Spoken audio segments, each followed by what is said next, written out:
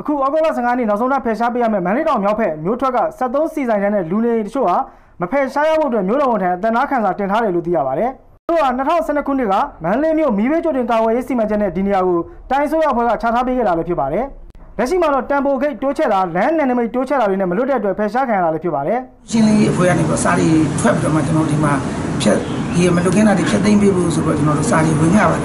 ဝင်ရတဲ့အခါကျတော့ဒီစာရီဝင်ရတဲ့အပေါ်မှာကျွန်တော်တို့ ဒါသဒနာခံစာတွေလည်းတင်ထားတာရှိပါတယ်အရင်တော့ကတော့2000ခုနှစ်ကတော့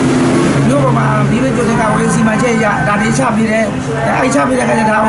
တရားဝင်စီတိုင်းနန်းပုံစံမျိုးနဲ့ဖြစ်တယ်အဲနောက်အစိုးရအပြောင်းလဲတွေဖြစ်လာတဲ့အခါကျတော့ဒါဟိုခုနပြောသလိုကျွန်တော်ပန်းဆိုင်ကြီးတွေထူထောင်နေတဲ့အတိုင်းတာကြအိုက်ပန်းဆိုင်ကြီးတွေထူထောင်လာကြတရားဝင်လို့တတ်မှတ်ပြီးတော့ဒီအရင်လုပ်ခဲ့တဲ့ဟာကိုဘယ်လိုစီမံခန့်ခွဲပြီးတော့ဘယ်လိုလုပ်ခဲ့ပြီးမဲ့ဘယ်လိုတောင်းတောင်းခံနေတဲ့အတိုင်းတာရှိမယ်ဆိုတာတွေကကျွန်တော်တို့မှတော်တော်လေးခက်ခဲလာကြုံရတယ်ပေါ့ ကိုဗစ်ကာလဖြစ်တဲ့အတွက်လက်တလောဖယ်ရှားပေးဖို့အခက်အခဲဖြစ်နေသလိုပြောင်းရွှေ့နေထိုင်ဖို့နေရာလည်းမရှိသေးဘူးလို့သိရပါတယ်။ဟိုကျွန်တော်တို့ခက်ခဲရှိနေတာတော့ခုတော်တော်စဲကိုဗစ် -19 ကိစ္စရဲ့ဝါရင်းကာလလည်းဖြစ်နေသေးတယ်ဗုဒ္ဓဘာသာဖြစ်သည့်အတွက်ကြောင့်ပါ။အဲ့လေးတော့တော်တော်ခက်ခဲကြုံရပါတယ်။ကလေးတွေကလည်းခုចောင်းသားလေးတွေလည်းရှိသေးတယ်။ခုចောင်းကအဲလေတန်းဆိုရင်ခုဒါနောက်လာဖွင့်တော့မယ်ဆိုတော့လေတန်းရှိတဲ့အကြောင်းသားလေးတွေလည်းအများကြီးပါပါတယ်ကျွန်တော်တို့အစီအစဉ်မှာ။အိန္ဒိယရှိဘက်နောက်ဘက်တွန့်မယ်ဆိုလည်းအိန္ဒိယ40လောက်တော့ရှိမှာပါ40ထဲမနေတော့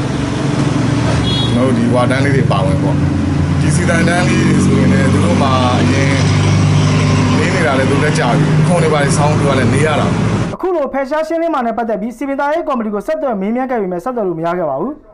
ဖယ်ရှားပေးဖို့အကြောင်းကြားတာကိုဩဂုတ်လ10ရက်နေ့ကပေးဝေခဲ့တာဖြစ်ပြီး15ရက်နေ့နောက်ဆုံးတော့ဖယ်ရှားပေးရမှာပါတမန်ရက်တွင်ဖယ်ရှားမပေးပါကတီဇက်စီပင်သားရဥပဒေနည်းဥပဒေတွေရရေးယူသွားမယ်လို့အကြောင်းကြားစာမှာပါရှိပါတယ်ခင်ဗျာကျွန်တော်အောင်ကိုဦးပါ